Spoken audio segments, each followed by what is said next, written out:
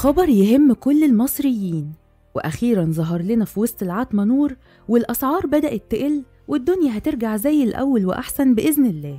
وفي حوالي 35% خفض في أسعار العيش السياحي والفينو. لو عايزين تعرفوا إيه الحكاية بالتفصيل والمسؤولين قالوا إيه تابعوا معانا الفيديو للآخر. أعلن طارق حسنين رئيس غرفة صناعة الحبوب تفاصيل اجتماع وزير التموين الدكتور علي مصلحي مع أصحاب المخابز بخصوص أسعار العيش السياحي والفينو خلال الفترة الجاية. وقال طارق حسنين خلال تصريحات تلفزيونية إن الوزير طلب من أصحاب المخابز إنهم لازم ينزلوا أسعار العيش السياحي وده بسبب إن الدولار بقى موجود في السوق بصورة طبيعية جدا وسعره ثبت رسميا وسعر الدقيق نفسه بقى رخيص. طبعا دي خطوة إيجابية ومهمة جدا من معالي الوزير ونتمنى الموضوع يحصل في كل السلع مش في العيش الفينو والعيش السياحي بس لأن دي حاجة بتصب في مصلحة المواطن.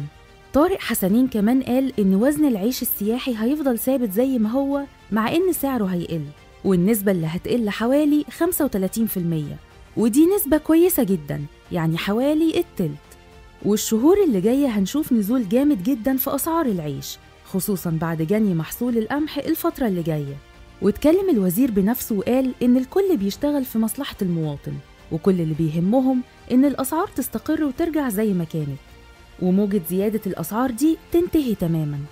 ده غير إن سعر الدقيق نزل من 28 جنيه ل 18 جنيه للكيلو وده بعد توفير الدولار في السوق وكمية الإفراجات الجمركية اللي حصلت الفترة الأخيرة والبضايع اللي نزلت السوق وكانت موجودة في الجمرك محدش بيسأل عنها.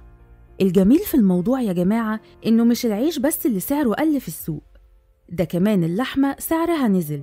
وقال مصطفى وهبة رئيس شعبة القصابين بالغرفة التجارية في القاهرة إن سعر اللحمة المستوردة هيبقى بين 200 جنيه و 230 جنيه حسب قطعية اللحمة.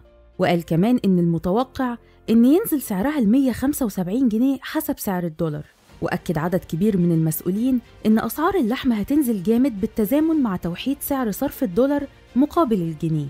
ده غير إن مصر هتوقع اتفاقية مع البرازيل علشان يستوردوا كمية لحوم كبيرة.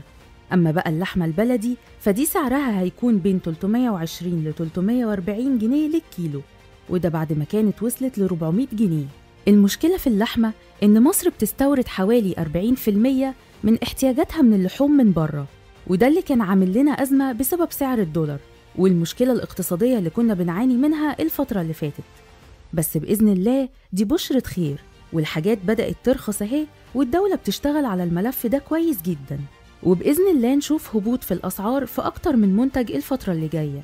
نتمنى كمان إن أسعار البقوليات والفراخ والبيض والألبان والجبن تنزل لأن الحاجات دي أساسية في البيت المصري والناس كلها بتعتمد عليها يوميا في أكلها. فبإذن الله كل الأسعار ترجع للمعقول. وما نشوفش زيادات بالجملة تاني زي اللي كانت بتحصل قبل كده. وبس كده لو حابين تعرفوا أي تفاصيل أكتر تابعونا علشان يوصل لكم كل جديد.